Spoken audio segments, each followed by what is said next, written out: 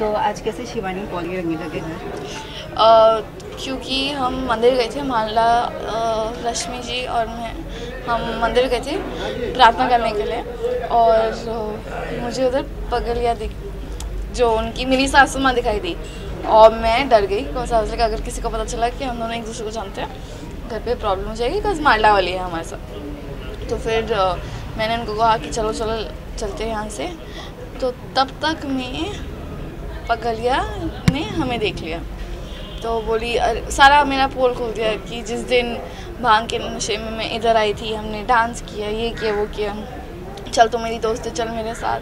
फिर पत्थर भी उठाया माला वाली को मारने के लिए। फिर मैं बोला नहीं नहीं नहीं मैं चल रही हूँ मैं चल रही हूँ। और फिर हम घर पहुँच गए। अब ये बात तो मालदा वाली को पता है तो क्या तमाशा होगा। एज यूजल हम्म, कुछ तो होने वाला है।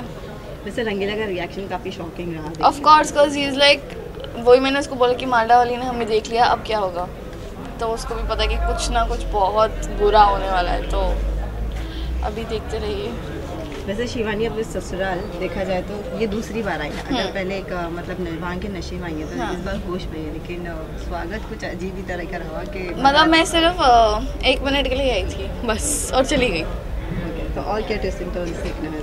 अभी तो कोई आइडिया नहीं है, क्योंकि मैंने भी पूछा था आगे क्या होगा, पता नहीं है अभी तो लेट्स होप कि सज़ा तो मिलेगी, अभी देखते क्या सज़ा मिलेगी